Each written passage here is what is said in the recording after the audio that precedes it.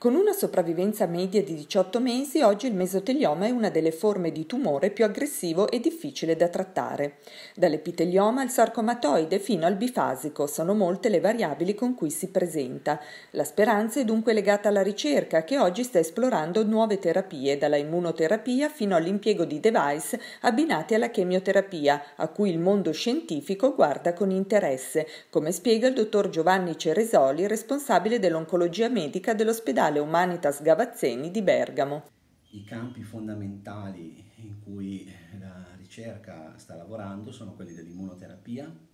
quindi della stimolazione del sistema immunitario con farmaci che in altri tumori hanno veramente cambiato la pratica di trattamento, nel mesotelioma purtroppo per le caratteristiche della malattia l'immunoterapia per come attualmente è, è praticata, per i farmaci che attualmente abbiamo, ha un'efficacia limitata proprio perché la malattia eh, ha una biologia particolare, con un microambiente, come si dice, cioè un insieme di cellule attorno che circondano le cellule tumorali che hanno un elevato grado di resistenza all'immunoterapia. Gli studi sono ancora in corso, però probabilmente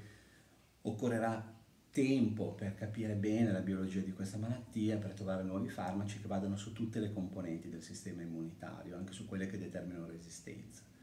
Un secondo settore di ricerca è quella dell'inibizione dell'angiogenesi, cioè del blocco della formazione di nuovi vasi sanguigni nelle cellule tumorali. Questo tipo di approccio eh, purtroppo a fronte di iniziali apparenti benefici, anche da studi recenti, eh, si è dimostrato non efficace in associazione alla chemioterapia come prima linea di trattamento. Sono tuttora invece in corso studi nella seconda linea, sempre con farmaci inibitori dell'angiogenesi. Eh, altri eh, campi di studio come eh, l'inibizione di una proteina chiamata mesotelina che avevano eh, suscitato inizialmente delle aspettative piuttosto eh, interessanti si sono rivelati, ahimè, eh, non efficaci. questa è una malattia che sostanzialmente è una malattia orfana, quindi aperta a,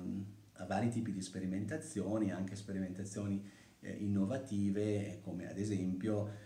una sperimentazione che utilizza eh, insieme alla chemioterapia eh, delle, delle, metodiche non farmacologiche, cioè dei device che ehm, producono dei campi elettrici a bassa intensità, c'è uno studio recente molto interessante e promettente che sembra dimostrare un potenziamento della chemioterapia con, eh, con, questo, mm, con, questo, con questo device, con questo dispositivo. Sono studi molto iniziali, ma assolutamente vale la pena di continuare. La cura virtualmente, cioè l'eradicazione della malattia, al momento è, è l'eccezione assoluta e non, non la regola in questa malattia. Esistono dei fattori genetici per cui uno diciamo, è più predisposto, comunque risponde meno anche alle cure magari piuttosto Allora, c'è un, un, campo, un settore della ricerca che sta indagando attivamente questi aspetti. Esistono alcune eh, sindromi genetiche eh, che predispongono al mesotelioma, ehm,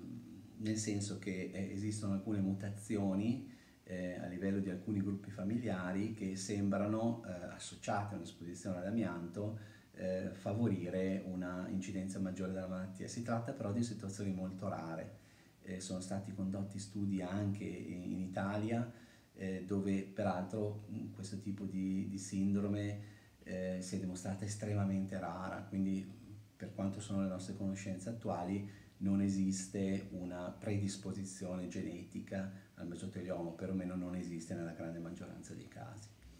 Naturalmente invece a livello della genetica della malattia, cioè ogni malattia, ogni caso di mesotelioma è diverso, per cui eh, sicuramente ci sono dei fattori di resistenza ai trattamenti, però è molto difficile indagarli, ci sono alcuni dati iniziali che però al momento non hanno pratico eh, nella, nella nostra cura, nella cura dei nostri pazienti.